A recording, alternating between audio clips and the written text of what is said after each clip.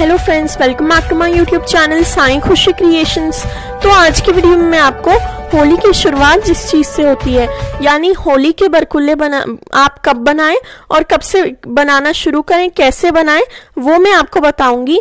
तो होली से 10-15 दिन पहले फागुन मास के शुक्ल पक्ष में आप किसी भी अच्छे वार को देखकर ये बरकुल्ले बनाना शुरू कर दें। अब जैसे हमारे यहाँ मारवाड़ी कल्चर में ये प्रॉपरली ओढ़ना, चुन्नी, सब कुछ ओढ़कर एकदम तीज त्योहार की तरह शुरू करे जाते हैं, क्योंकि ये होली का होली की शुरुआत मानी जाती है। आप नथ भी पहन सकते हैं। ये देखिए, सभी लोग गीत गाते हुए, अच्छे से भजन कीर्तन करते हुए, भगवान का नाम लेते हुए आप भजन सुन भी सकते हैं। एकदम अच्छे से हमें ये बड़कुल्ले और जो भी खेल खिलौने होते हैं, ये बनाना शुरू करने चाहिए। तो आज वो शुरू कैसे करें, वो मैं आपको बताने वाली हूँ। तो ये देखिए, ये सामान हम लेंगे ये सारा सामान जो भी हमें लगेगा। सबसे पहले जहाँ पर भी आप बनाएँ, आप पाटे पर भी बना सकते हैं, लकड़ी के पाटे पर, या फिर आप ऐसे ज़मीन पर भी मेरी तरह बना सकते हैं। पहले सबसे अच्छे से धरती को साफ़ कर लें, उसके बाद उस पर आप आटे से चौक पूरे। ये देखिए, आटे और हल्दी से हमें चौक पूरना है। कई लोग गेरू और चूने से भी पोरते हैं, पर हमारे यहाँ ये आटे और हल्दी से ही करा जाता है। तो ये देखिए आटे और हल्दी से आप एक बॉक्स बना लें।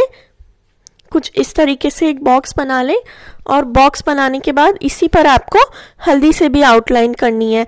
बरकुल्ले बनाने का बहुत ज़्यादा महत्व होता है। सभी क्षेत्रों में ये नहीं बनाए जाते हैं।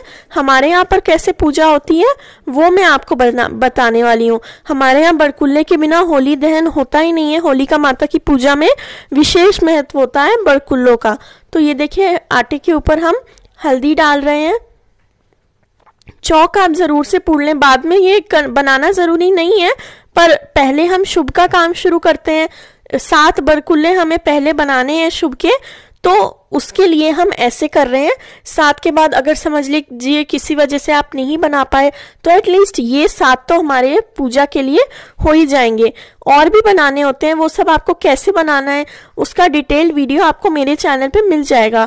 आज मैं ये बता रही हूँ, आपको बड़कुल्ले बनाने की शुरुआत किस तरीके से करनी है। अब ये देखिए कोई भी हम उत्सव शुरू करते हैं तो सबसे पहले गणपति जी की पूजा करते हैं। तो गणेश जी की पूजा के लिए हमने जहाँ पर भी चौक पुरा है, वहाँ पर हम रोली से स्वस्तिक बनाएँगे सतिया बनाएँगे। तो ये देखिए रोली से हम स्वस्तिक बना रहे हैं। आप सेम चीज़ पाटे पर भी कर सकते हैं, या फिर अगर समझ लीजिए आपको फर्श खराब होने का डर है।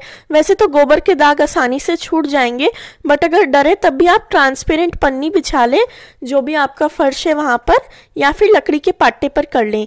तो ये देखिए, इस तरीके से हम स्वस्तिक बना लेंगे।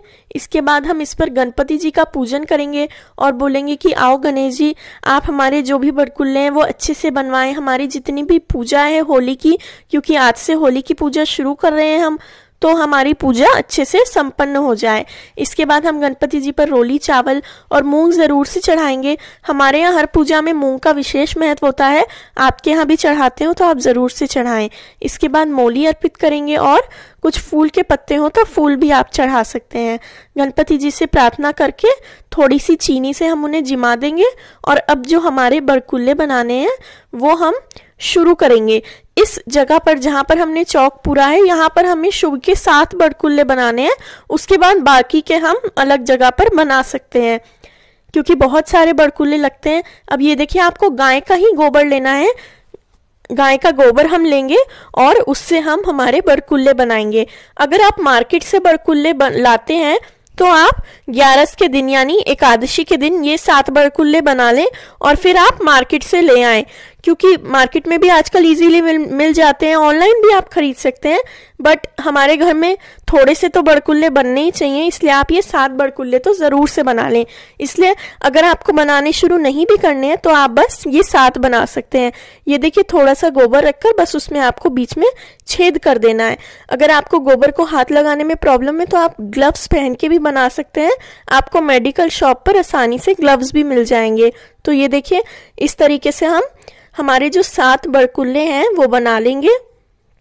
इस दौरान आप भगवान के गीत गाते रहें, भगवान का नाम लेते रहें, होली के गीत गाते रहें। तो ये देखिए, हमारे सात बड़कुल्ले जो हैं, वो बनकर रेडी हो गए हैं।